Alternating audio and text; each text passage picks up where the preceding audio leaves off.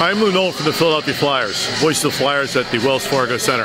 I've been involved with Big Brothers and Big Sisters of Bucks County for about 15 years or so, uh, coming to the, the, the, bowling things and some of the other banquets. It is without a doubt one of the best organizations that I've ever been involved with. I would advise all of you to really look at this program and donate your time because it is truly a wonderful thing and the rewards just come right at you.